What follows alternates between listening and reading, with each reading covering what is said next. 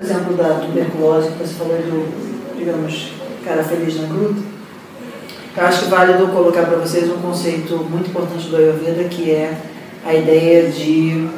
Uh, no Ayurveda, pouco importa relativamente se você está num lugar super contaminado de bactérias, vírus, etc. E tal. E se teu sistema imunológico está nutrido o suficiente, eu sublinho essa palavra nutrido, porque a gente nutre o sistema fisiológico no Ayurveda de uma maneira bastante proposital. A gente no Ayurveda dá pouca importância à agência externa de patogênicos. A gente no Ayurveda dá muito mais importância à fortaleza interna de defesa diante desses patogênicos, que a gente tem dois conceitos muito importantes. Vocês talvez tenham escutado um deles nos vídeos que eu passei. O primeiro deles é potência metabólica, o Agni, certo? Então, para o Ayurveda, a raiz da saúde está numa boa capacidade digestiva. Então, para o Ayurveda, o especialista mais importante de todos é o gastro.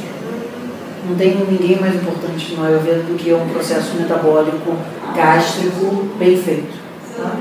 Aí depois vocês podem ir estudando isso se vocês quiserem mais, mas basicamente todos os processos de transformação do que acontece dentro do nosso corpo tem uma finalidade última que é, é desenvolver capacidade de resposta imunológica, que ao mesmo tempo está associada à ideia de felicidade. Então isso é uma coisa bastante fora, eu acho, do nosso paradigma usual. O mesmo cara que na neurociência está perguntando como é que as pessoas são felizes, no Ayurveda está junto do cara que está muito preocupado das pessoas que não vão ser destruídas por conta de vírus. Essas duas pontas no Ayurveda estão ligadas por um conceito chamado Ojas. Então, para o Ayurveda, aquela história assim, uma pessoa feliz não fica doente, uma pessoa, entre aspas, que está se sentindo amada, contente, etc. e tal, não fica doente misteriosamente, sobrevive, etc. e tal, é porque para o Ayurveda, o que a gente está falando da energia vital, ela é uma energia elétrica, bioelétrica muito instável, tá? e ela precisa ser para que a vida possa existir. Mas ela não tem um formato mais, digamos, é, condensado, que a gente chama de ODIS, que é uma maneira onde a gente estoca a energia vital no nosso sistema. E ela é liberada em momentos de estresse, ou em momentos onde está tudo muito bem e a gente sente isso como felicidade. Então, para o Ayurveda, a gente não está, digamos, é, cuidando da nossa saúde para não ficar doente a gente está cuidando da nossa saúde para promover bem-estar interno de uma maneira profunda, porque isso é a base um processo de autoconhecimento psíquico, que isso é a base um processo de conhecimento, autoconhecimento espiritual. Para o Ayurveda, a gente está aqui é, cuidando do, digamos, processo metabólico da pessoa para que ela possa ter paz fisiológica, para que ela possa ter uma capacidade de entrar no mundo de práticas de meditação, qualquer coisa que seja, para que ela possa ter paz psicológica, para que ela possa entrar num mundo de práticas onde ela possa ter paz kármica, que é um conceito que extrapola bastante da ideia de medicina no sentido mais estrito, porque a ideia é que como no Ayurveda existe essa ideia, esse entendimento de que existe um princípio que reencarna, e ele leva padrões tanto físicos quanto fisiológicos quanto psicológicos para as outras vidas, na medida em que você tem consciência disso, e aí eu acho que a gente para um pouco nessa parte mais teórica, porque eu posso eu começo, tipo, tá lá nas estrelas, assim, balançando um pouco.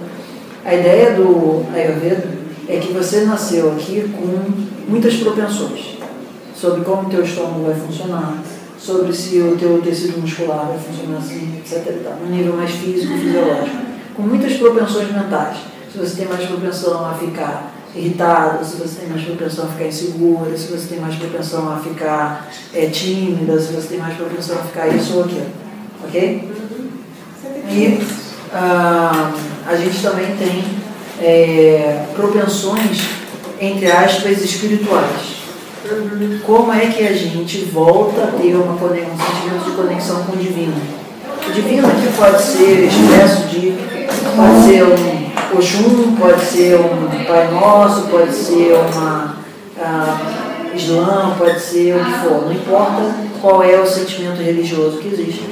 Mas para o Ayurveda, a vivência, ela se dá, e aí eu acho que tipo, só para fazer um contraste e de repente gerar um frisson, o objetivo da existência é fazer com que a gente tenha consciência de que existe uma força, uma inteligência maior que anima o universo e depois desanima nesses processos de expansão e contração. No momento que a gente volta a ter autoconsciência em relação a esse fluxo, a gente de fato tem saúde.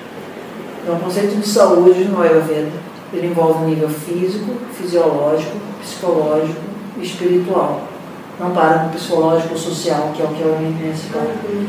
E isso é um papo assim muito chacoalhante, a meu ver, em termos da ideia que foi que a gente começou, como racionalidade médica. Então, só para eu concluir, uh, o Ayurveda ele é um sistema de saúde espiritualista, onde uma racionalidade médica pode operar. Mas ele é, entendeu o Ayurveda como uma medicina já é um corte muito grosso, porque o Ayurveda também é, entre aspas, nutrição, fisioterapia, psicologia ah, e mais. É, o personal trainer fala para as pessoas. Aqui a gente tem ah, como ferramentas um nutricionista, um psicólogo ou psicoterapeuta, um médico, um clínico, ah, às vezes até um fonoaudiologista, assim, só para você entender o quanto na Ayurveda está tudo muito junto. Ainda que seja possível estudar isso de uma maneira mais separada, mas sempre como um tronco e não especializações. O Ayurveda tem vários troncos que sempre estão conectados a uma raiz. Uhum. Certo? E essa raiz é um sistema de saúde para a promoção da longevidade, que é a ideia da palavra Ayurveda. E essa promoção da longevidade tem um objetivo muito específico, o desabrochar espiritual. Então, ah, isso é um pequeno introdução sobre por que, que o Ayurveda também é, é, muitas vezes encarado como uma racionalidade médica, não tem problema que seja, mas ele ser visto apenas como uma racionalidade médica é jogar 99% dele fora. Entendeu? Estamos vivos? Estamos juntos? Temos colocações, perguntas? Não, eu, eu, eu fico pensando muito, eu tenho pensado muito nessa coisa assim, se é possível ser saudável no mundo de hoje, entende? Eu costumo falar. De vista, de todos os pontos de eu vista. Eu costumo falar para as pessoas que sim. Eu não sei se é possível. A diversão, ela é. é assim como não é possível a cura, do ponto de vista. A perspectiva tipo, da Ayurveda, a saúde é em vários níveis. Então, a saúde no nível mais pleno e absoluto é uma coisa que, na perspectiva da Ayurveda, você está reencarnando há bastante eras já e vai continuar possivelmente ainda bastante eras para frente para alcançar a saúde nesse nível absoluto, que é, digamos, de iluminação espiritual. Esse, digamos, é o topmost do conceito de saúde. Mas a ideia é que, mudando um pouco a alimentação, mudando um pouco a rotina, mudando um pouco ah, o entendimento de como o teu biotipo funciona, porque eu acho que vocês já foram apresentadas essa ideia de que no Ayurveda existe o conceito de que a nossa fisiologia está longe de poder ser considerada dentro de uma curva normal.